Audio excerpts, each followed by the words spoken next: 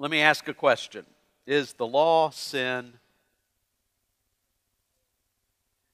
Is the law sin? Sometimes we think it's sin.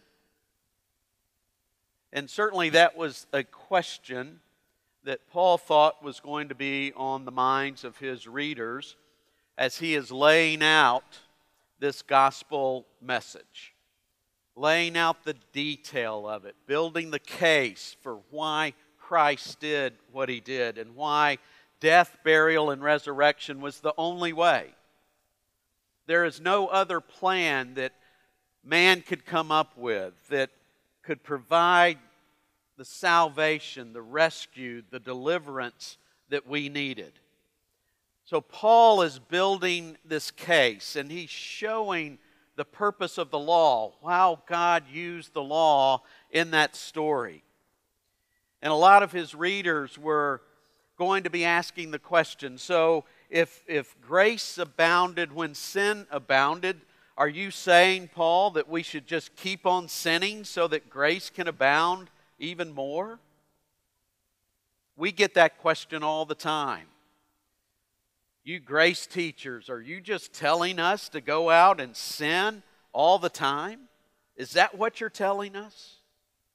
When you say that Christ has taken away sin once and for all, and that all sins are behind the back of God, never to be seen again, that He remembers them no more. Paul, are you saying to us that in light of that truth, it doesn't matter what we do?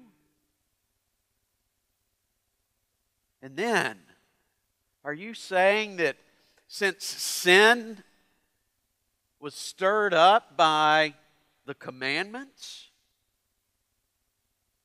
that through the commandments, sin produced all kinds of fruit of death? Paul, are you saying that the law is sin? And that's the question he poses for us today. What shall we say then? Is the law sinful? We're in Romans 7, starting in verse 7. Is the law sin? Well, what I'm going to do right now is simply read through the rest of this chapter. So if you have your Bibles, just follow along. Romans 7 7. What shall we say then? Is the law sinful? Certainly not. Nevertheless, I would not have known what sin was had it not been for the law. For I would not have known what coveting really was if the law had not said, You shall not covet.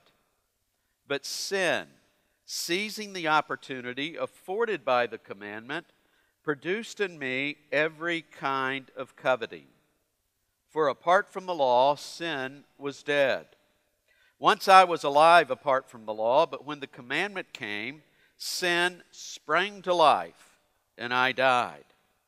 I found that the very commandment that was intended to bring life actually brought death. For sin, seizing the opportunity afforded by the commandment, deceived me, and through the commandment put me to death. So then, the law is holy, and the commandment is holy, righteous, and good. Did that which is good then become death to me? By no means.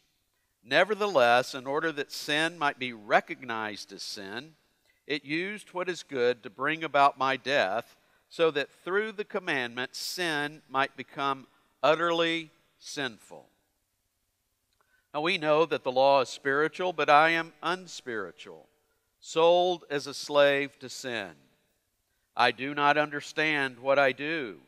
For what I want to do, I do not do, but what I hate, I do. And if I do what I do not want to do, I agree that the law is good.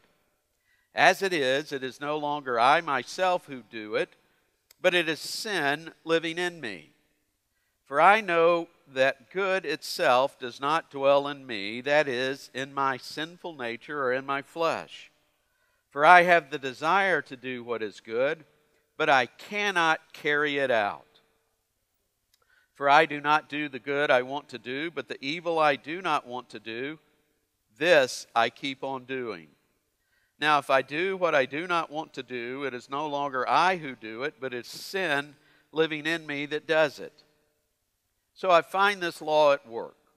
Although I want to do good, evil is right there with me. For in my inner being I delight in God's law. But I see another law at work in me, waging war against the law of my mind, and making me a prisoner of the law of sin at work within me. What a wretched man I am. Who will rescue me from this body that is subject to death? Thanks be to God who delivers me through Jesus Christ our Lord. So then, I myself in my mind am a slave to God's law, but in my flesh, a slave to the law of sin. Pretty interesting passage, isn't it? Has a lot of meat, has a lot of information about us, about our human nature, what we're like. And it doesn't paint a very pretty picture. We like to think of ourselves as good, as basically good. But when we really get down to who we are in our flesh, there's no goodness there at all. And God wants us to see that. God wants us to know that. God wants us to experience that so that we can let go and turn to Him. That's the story of this particular passage, and it starts with that question Is the law sin? What role does this law play in God's plan of rescue? For some, they make the conclusion that law is bad. But Paul is going to tell us no. On the contrary, the law is good, it's holy and righteous and good. So, is the law sin? Paul answers emphatically certainly not. I mean, how could the law be sin? Whose hand did it come from? God's hand. Who penned it on those tablets of stone? God Himself did. It was authored by God, it was given by God to the people of Israel. It had a holy purpose for that nation. And guess what? It has a holy purpose for us spiritually. So the law is not sin. What does the law do? The law defines sin. As Paul said, he would not have known what sin was if the law had not said, Do not covet. I mean, Paul was going along pretty well in life, wasn't he? I mean, he was rising to the top of his game as far as being a Pharisee. He was tagged as the future leader. The hope of Judaism was pinned to his coattails. He was the guy. People admired him, people were inspired by him, people wanted to emulate him, people looked to him for answers. Paul was it. Talked about that in Philippians when he boasted a little bit about his flesh. He said, as far as legalistic righteousness was concerned, he was faultless. But then he read the law. And he got down to number 10 that said, Do not covet. And something happened. Something happened with Paul. He saw what sin really was. He wouldn't have known that if the law hadn't been there. But when he saw the law saying, You shall not covet, sin did something. Sin seized the opportunity afforded by the commandment and produced in Paul every kind of coveting. Have you been there? Yes. Yes, I have. And yes, you have. So the law defined sin for Paul. It's much like, as we've talked about many times, the x ray machine, a CT scanner, a, uh, any of the latest medical apparatuses that look inside of us and tell us what's wrong. You go to a physician. My mom had triple bypass surgery, surgery recently. That was one of my weekends away, uh, going to be with her. Uh, she went in and was not feeling too well, knew something was wrong, but she wasn't paying much attention to it. It, it really didn't have the weight that the real issue had in her mind. She thought it may just be indigestion or something like that. And as she went, uh, her regular internist said, Well, we're going to do an EKG. And the EKG saw, uh, showed some abnormalities. And the internist said, You're going to a cardiologist today. We're not waiting. It's going to happen today. And so she went to see the cardiologist. The cardiologist ran some other tests. Uh, the test showed that there was something drastically wrong. And they said, Tomorrow you're going to have this cardiac catheterization, and we're going to find out exactly what it is. And by the way, you're not going home. This is so serious. You're not leaving this hospital. And so the next day, she goes in for her cardiac catheterization, and they run the dye up. And as soon as they see what's going on, they didn't come and say, wheel her back to her room. They put her on the gurney and wheeled her right into surgery. And they brought their top guy in to perform this operation. Was that cardiac catheterization bad? Was it evil because it found something sinister in my mom's body? Absolutely not. Cardiac catheterization was good. It saved her life. I mean, it was so bad, they said if she had gone home and attempted to go up a single flight of steps, she might have just fallen over and died. That's how blocked her arteries were. You say, was that thing that pointed it out, that showed how bad her situation was, is that thing bad? No, that's good. That's what the law does. It shows just how bad sin really is in us. So, the only conclusion that you can make about the law, which is the conclusion that Paul made, is that the law is holy, righteous, and good. It comes from God's hand. He's holy because so whatever He gives, whatever He provides, is holy in itself. God is right, God is just. So whatever He gives, whatever He provides, is right and just. It's good because God is good. Whatever comes from in His hands has goodness written all over it. There's no way that we can conclude that the law is sin. If we do, we're going down a wrong path. We're going down the wrong direction. Because if we say the law is sin, guess what else we're going to say is sin? The very salvation that God gives to us in the person of Christ. So if you say one thing that God gives is bad, you're going to say everything God gives is bad. Is that where the world is today? Absolutely. Anything that has God's name written on it, anything that speaks to Jesus Christ in this world today, the world is trying to, to cause us to see it as evil. We speak truth from the Word of God. We call sin what sin is. And what does the world say? It's hate speech. That's what the world says.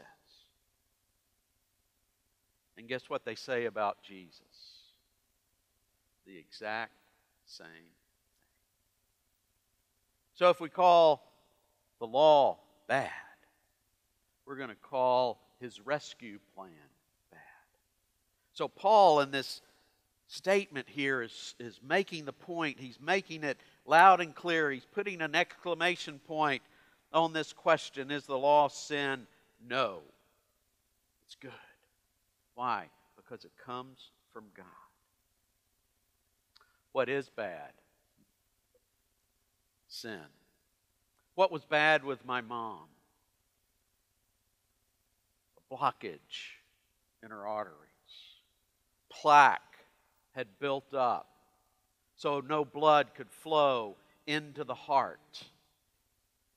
It's a bad situation. Her arteries were fine.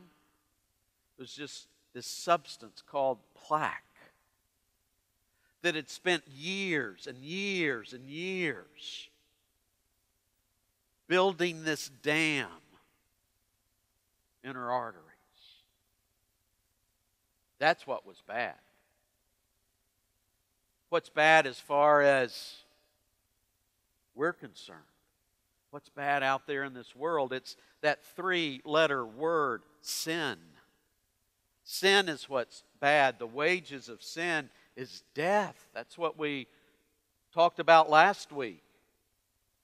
That's bad, isn't it? If mom had not been able to find out what was going on with her, that plaque would have caused death, her physical death. So sin is the bad guy. And we need to realize that. I think we lose sight of the problem. We call the law the problem. The law is not the problem. when Jeremiah gave the words of the new covenant and talked about the prophecy of this new covenant and that one day there was going to be a new covenant. Well, the writer of Hebrews took that and brought it and made that the centerpiece of his letter to the Jewish people. But the question comes why the reason for a new covenant? I mean, there was this old covenant, there was this Mosaic covenant. What was the problem with it? And it was never a problem with the covenant, the problem was with the people. And the reason the problem was with the people wasn't because God had made them wrong, it's because sin had creeped in. Sin had, beco- had become a part of their beings, had taken up residence in their human nature, and their flesh had become sinful. And there's nothing good that can come out of sinful flesh. No matter how hard we try, sin always produces sinful actions. That's the very nature of sin. It's sinister and the end result is death. The same is true with us. The problem is with us, it's in our flesh. And the sin is sinister. I mean, it's opportunistic. I mean, it plays on our weaknesses. It knows that there is no way on God's green earth that we can carry out the righteous requirements of the law. So when the law gets presented to us and we see what righteousness is, we see what justice is, we see what God is like to some degree, we try to live up to it. And sin takes advantage of that opportunity. As it said, sin seizing the opportunity afforded by the commandment produced in Paul every kind of coveting. Has it worked that way in you? When the law was presented to you, did sin seize that opportunity? It happens, doesn't it? And the very thing we don't want to happen starts to happen inside of us. Men get trapped in pornography. And they say, I've got to stop. I've got to stop. Because that's not right. And so they try. And they're doing it with human strength. They're trying to clean up the flesh. They're trying to get the flesh to respond differently.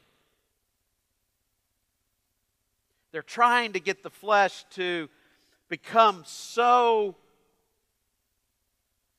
anti pornography, so resistant to it, that they could just walk in and it not affect them at all. Doesn't work, does it? But the more they try, the more sin seizes the opportunity and stirs up the desires. Gosh, when people come to us for counsel who are trapped that way, trapped with some sexual sin, whether it's pornography, whether it's you name it. They have such a difficult time breaking out, breaking free from the cycle. Why? Because they're doing it through law. They're trying to do it in their own strength with human effort. And all sin does is seize that opportunity and produces in them every kind of sexual desire imaginable. And the trap tightens and tightens and tightens. That's what sin's like. That's what sin does. Sin's sinister. It produces evil desires. That's sin's job. Produces evil desires. You know them, don't you? Right? Go ahead, shake your head. no. Ron, no. So it produces evil desires, and then the end result is sin brings death. Death happens on various levels. This body's going to die. That's the result of sin, isn't it? Everybody's going to die unless the Lord comes back first. And then something's going to happen with these bodies. These bodies are still subject to sin and death. And when the Lord comes back, and if we're still here, something's going to change with us. The mortal is going to put on immortality. The perishable is going to put on imperishable. We're going to get new spiritual bodies that are no longer subject to sin and death. We're going to get bodies like the body Christ received upon resurrection. That's what we're going to get. But in the meantime, if we're here and Christ hasn't come back, these bodies are going to go into a grave. We know that to be true. There are other types of death. It's like the lady that is a little tired of her relationship at home, married with kids, and there's a guy that you know she works with. This guy's funny, and this guy listens to her, and this guy pays attention, actually looks at her in the eye is interested. And she's not getting that at home. And she decides to take another step in this new guy's direction. They go out for coffee. It's just simple, neutral, but it's not things are starting to well up in her that she hasn't felt in a long time. And she starts looking at this guy and comparing this guy with the slob that's at home. And the slob at home loses every single time. This guy's funny. This guy's not. This guy looks me in the eye. This guy is too interested in his stuff, his things, his, his life. This guy's actually in shape. This guy, not. And that list just gets longer and longer and longer. And, and the story of it says, I got to dump this guy so I can get with this guy to be happy because I know I'm not happy over here. And pretty soon, death occurs. Death to a marriage that at one time the two parties believed God brought together. And at one time, the two parties stood before a pastor and a group of people and made a covenant one with another, saying, We'll only separate upon death. You have death of a relationship.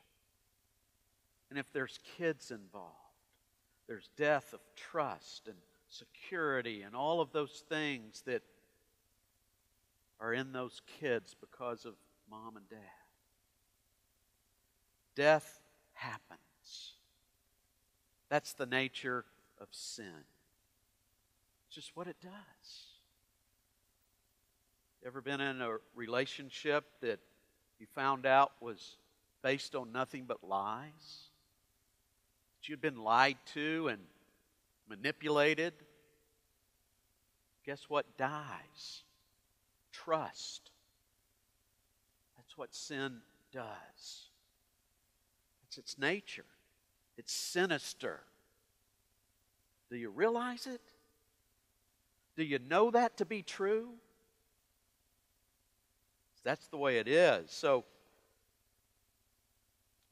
what about the law? What's the goodness of the law? It's spiritual.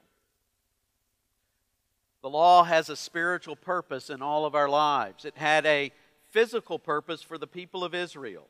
It was their Bill of Rights, it was their governing document.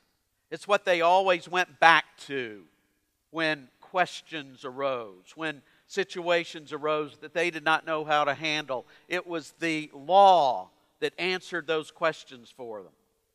Just like our Constitution today, we want politicians to hold up the value and the worth of the Constitution and to say that if problems arise today, we're going to let the Constitution answer it for us. That's why politics today is so complicated because we're moving further and further away from that reality. The Constitution is losing its influence and value in our country today.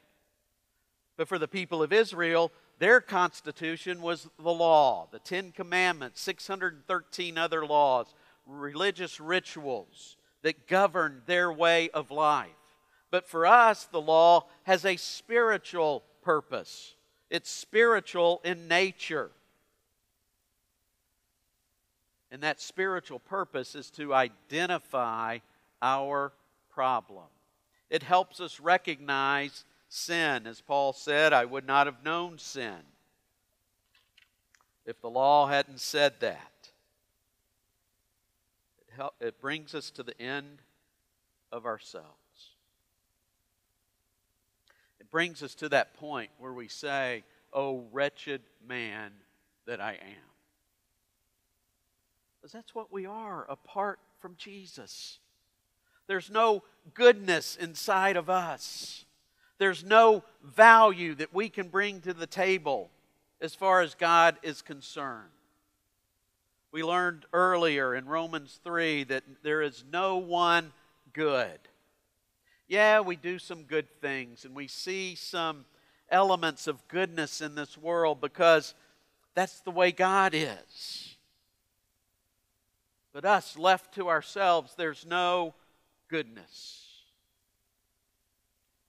Daughter Mackenzie's reading the book Lord of the Flies. Maybe you read that in your high school English class. It's an interesting look at humanity. Joseph Conrad's The Heart of Darkness, the same thing. Unbridled humanity leads to unbridled evil. Period. Why? Because of sin. When we recognize it, the law brings us to the end of that. So, what is sin's trap? How does sin work? How does it try to ensnare us? Well, what we want to do, we don't do. Right? You've been there. It's a maze. I call this the Roman 7 maze. I mean, you get in and there's no way out of it. You turn this way and there's a roadblock, and you turn this way and there's a roadblock, and you turn this way, there's a roadblock. There's no way out of the Roman 7 maze. Just think of, you know, you're a scientist and you've created this little maze and you're going to see if the little test rat can get out of it. But you know there's no way out. But it keeps trying, it keeps hitting its head against walls and turns and hits its head against another wall. And there's no way out. The only way out for that particular rat is if the scientist reaches down, grabs it, grabs the rat, and pulls it out. Guess what? That's our only way out. Jesus Christ reaches down into this Romans 7 maze and grabs us and plucks us out and rescues us. That's the plan. There's no other way. Why? Because sin is too powerful.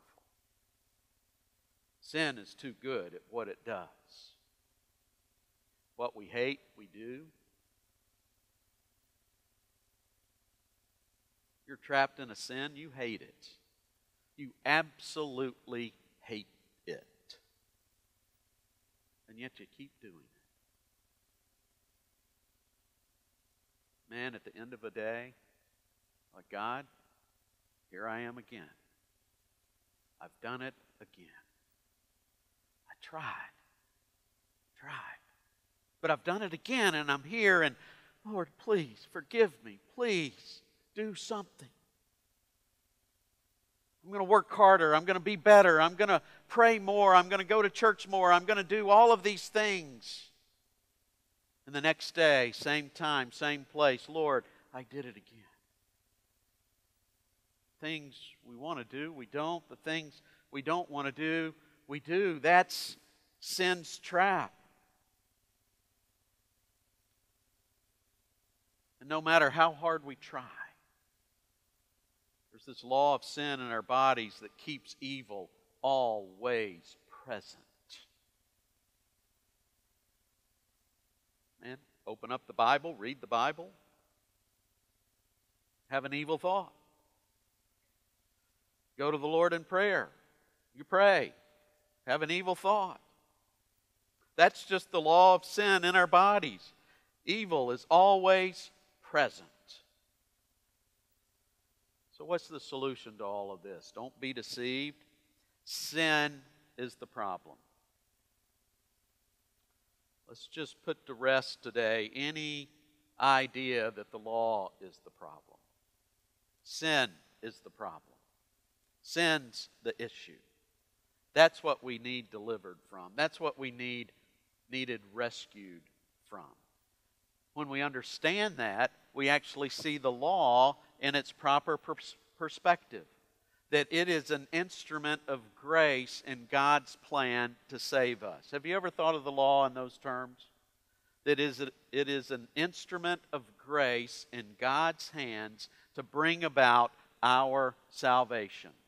just like that cardiac catheterization was an instrument in the hands of the physicians to bring about a healing of my mom's heart. That's good news, isn't it? That God loved us so much that He showed us the very nature of our problem. And He showed it to us in such a way that we can see the evil of sin. As Paul talked about, this sin became utterly sinful. Many of you have been in a family situation where one of your lo- loved ones got a diagnosis of cancer. Before that time, since you have never, never been able to see it up close and personal, cancer was somewhat innocuous.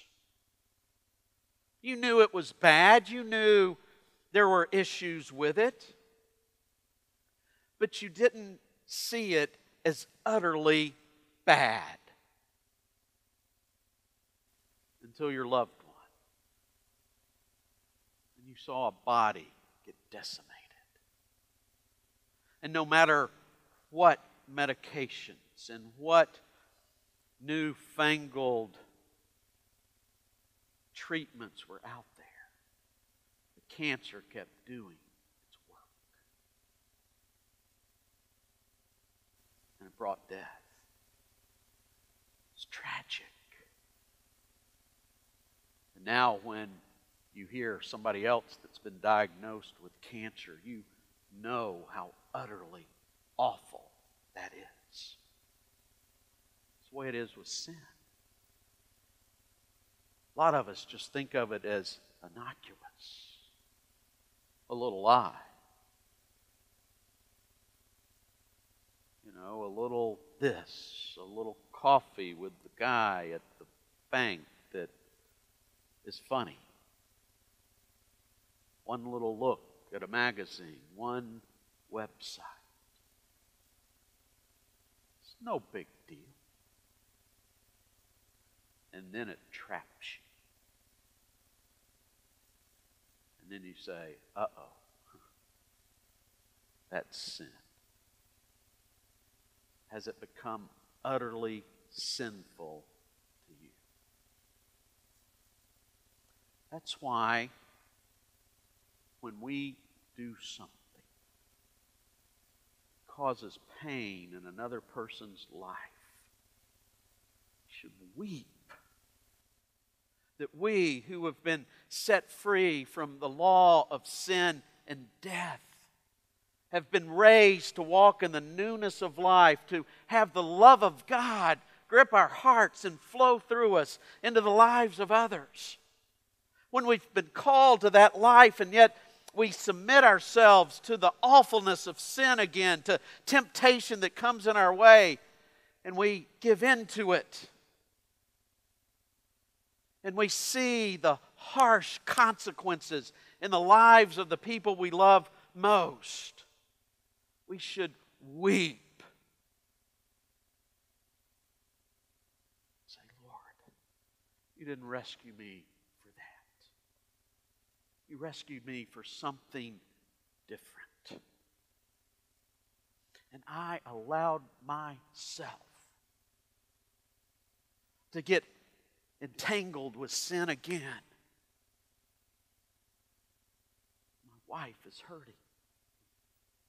She's in pain. Sorrow has come to her heart because of me. Got to see it for what it is, people, so that we can live in the newness of life. Paul concluded, What a wretched man that I am. Why? Saw sin lived in his flesh. Sin was the source of evil behavior. And the only thing he could say is, Who will rescue me?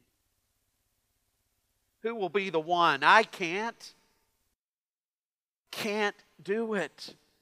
There's no plan that I can devise that will allow escape from sin's trap. There's nothing that I can do. There's no promise that I can make. There's nothing within me that can right the ship. Who will rescue the most victorious statement in the Word of God. Underline it, circle it, star it. Let this become your heart's cry.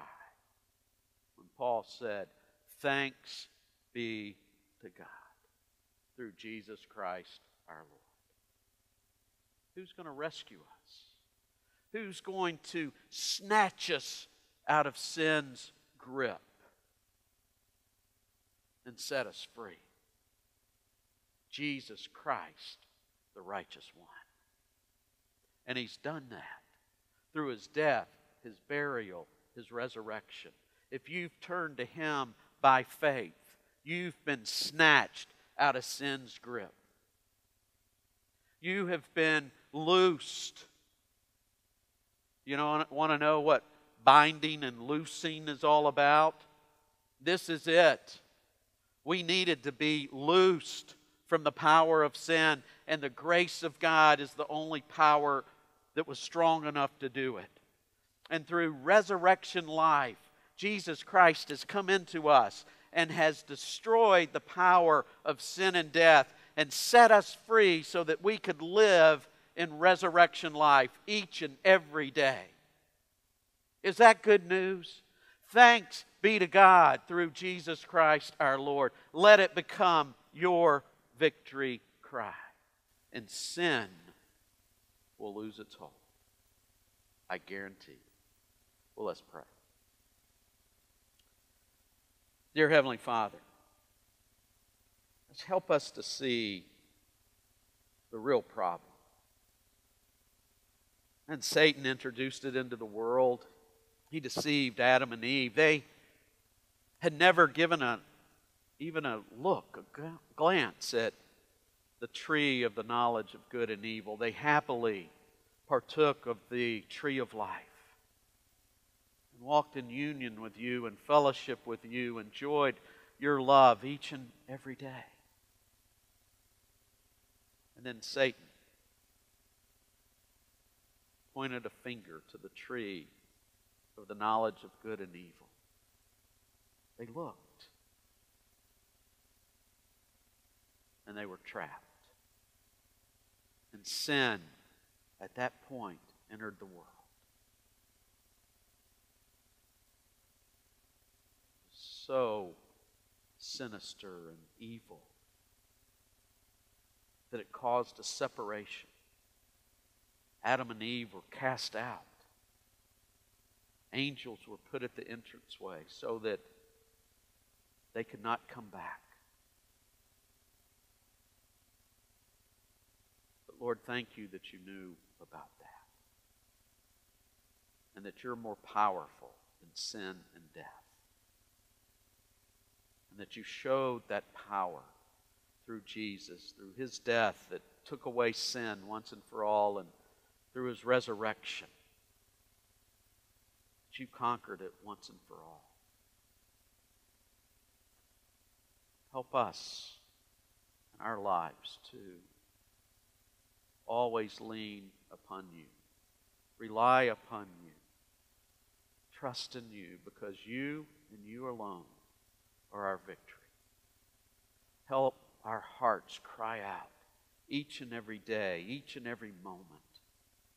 The victory cry, thanks be to God through Jesus Christ our Lord. We thank you for this possibility